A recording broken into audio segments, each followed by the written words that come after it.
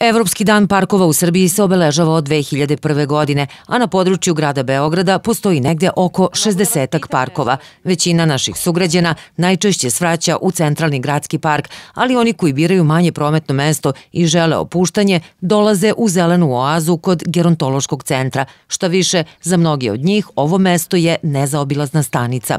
Redko koji dan ne dolazim. Uvek od 11 do 12. I se popriča ovde u ovom parku s komšijama? Jesam. Jesam, prođe, neko pođe na pijac, neko s pijace, ja ovde dočekam i, i popričam s njime i malo se opustim. Ovde sam rođena. Kakav vam je ovaj park? Prelep. Kako je pre bilo, ovo je prelepo. Bilo je dosta šiblja i nije toliko se prolazilo. Bez njega nije bilo urađeni staza. Ovo je sad ekstra. Volim ovaj park i ovaj naš park i kod opštine.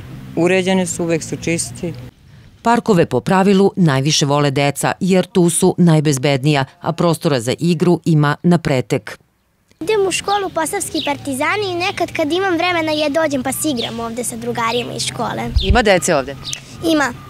Šta se radi obično ovde u parku? Igra se, vozi rolere, svašta nešto. Bili su neki što su polomili svašta nešto, tobogane i sve, pa mi mi voljeli da ima toga da se napravi. Ima puno drveća i lepo su pokosili sada. Bilo bi lepo da se ovde uradi jedno igralište i da tu bude malo posećenije mesto.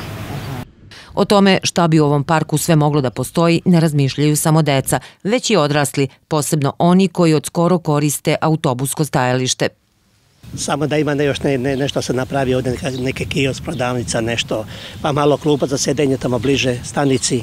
Park je lepo uređen, fino funkcioniše, samo bi zamolio sve građane da budu disciplinovani, da ne, da ne prljaju park i da ne zlopotrebljavaju. Da koriste park u one svrhe u koje je namenjen. A namenjen je svima i nije isključivo briga komunalnog preduzeća. Koliko ga budemo čuvali, toliko će nam užitka pružiti.